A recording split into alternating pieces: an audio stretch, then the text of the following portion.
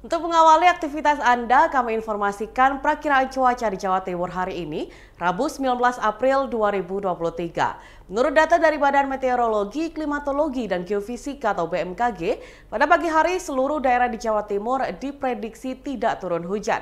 Cuaca akan bervariasi mulai cerah hingga cerah berawan.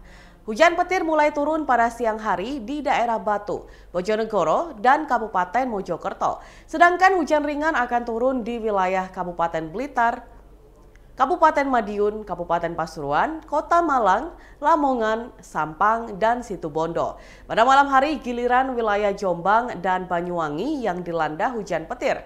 Sementara hujan ringan masih turun di daerah Kabupaten Kediri, Kabupaten Madiun, Kabupaten Mojokerto, Kabupaten Pasuruan, Kota Pasuruan, dan Situbondo. Pada dini hari, wilayah Sidoarjo akan dilanda hujan petir dan sembilan daerah masih diguyur hujan ringan, termasuk Jombang, Kabupaten Kediri, Kabupaten Mojokerto, Kabupaten Probolinggo, Kota Probolinggo, Magetan, Nganjuk, dan Sampang. Untuk kota Surabaya, BMKG memprediksi akan cerah berawan mulai pagi, siang, hingga malam hari.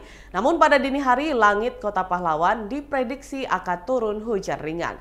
Suhu Surabaya hari ini berkisar 26 hingga 33 derajat Celcius dengan kelembaban 65 hingga 90 persen.